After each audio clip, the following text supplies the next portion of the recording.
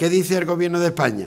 No, cuando llegue final del 22, lo que nos teníais que devolver, ¿eh? no lo vais a tener que hacer. Y claro, evidentemente, esa cantidad de 36,5 millones de euros, pues lógicamente pasa a ser ingresos, ¿eh? hay que incorporar como ingresos en el ejercicio 22.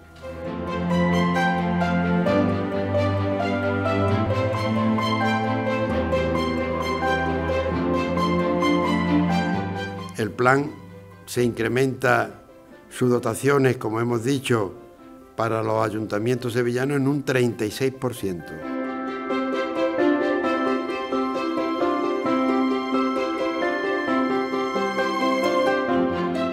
Otra tercera parte más a lo que ya contábamos que servirá para reforzar y apuntalar determinados programas que habían quedado, ¿eh? que habían quedado cortos presupuestariamente hablando.